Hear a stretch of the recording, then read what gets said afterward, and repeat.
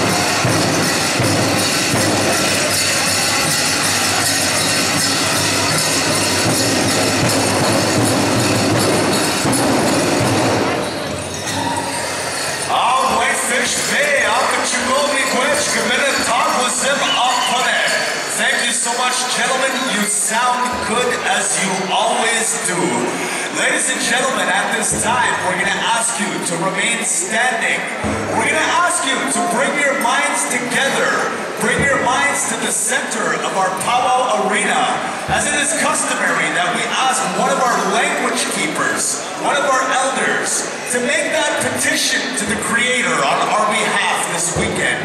I turn the microphone over to my auntie Elsie Bazayan.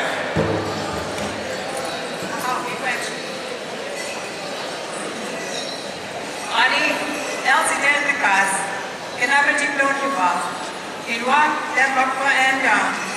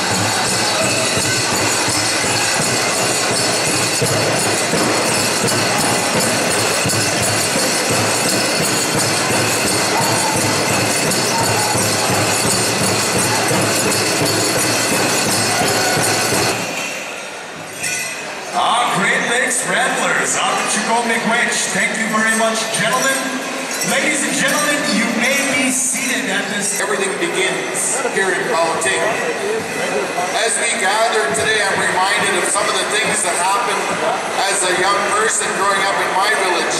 And this is the time of the year that the elders would go out with their lanterns in the middle of the night and they would bob for mosh.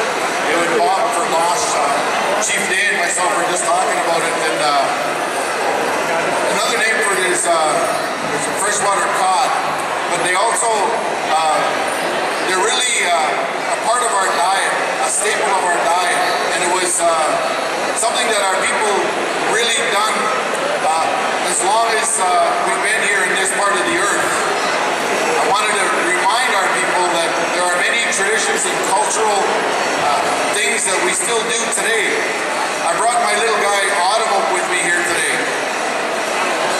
And he's my youngest son. He's six years old.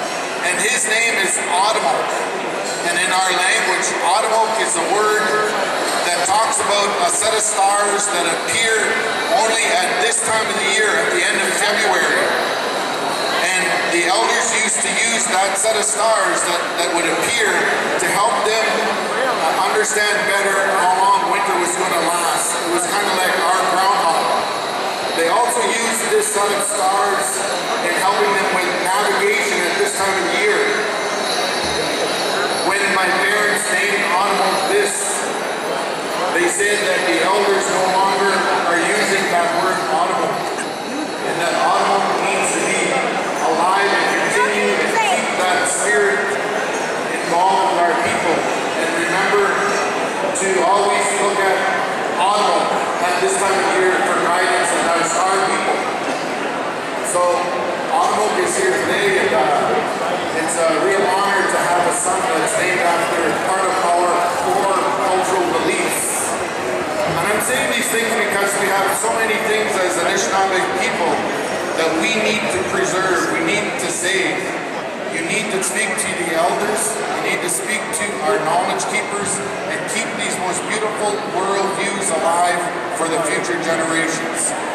This is the starting point, coming to this type of a cultural gathering. This is where your cultural understanding can expand and flourish as a result of you speaking to the elders here. Not just leave here and forget about your experience, but use this as a platform to grow as a person. So Gichi-miigwech for coming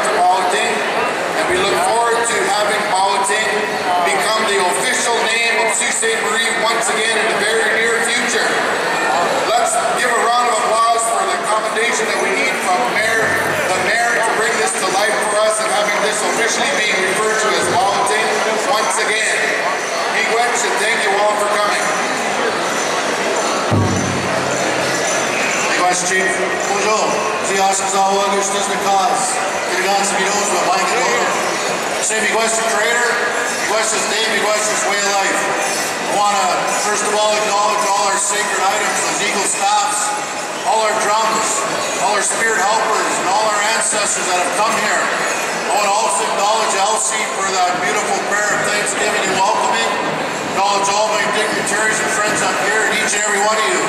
On behalf of my council, my community, welcome here to Mawating, this gathering place for a weekend of celebration. Enjoy yourselves, have some fun, and don't forget to laugh. Mahalo, miigwech. Bonjour. Pues kwame gesi de de indigenous cause and donji ganoje dem. First of all, I want to acknowledge the creator, creation, the prayers of our elders, and the protocols of the territory. Do want to acknowledge the Robinson Huron Treaty Territory. These two gentlemen beside me, they're two of my bosses. I have 133 bosses in Ontario. Here's two of them right here. I acknowledge them for their leadership, for their strength, and the vision of their people. It's an honor to be here at this uh, Great Lakes gathering.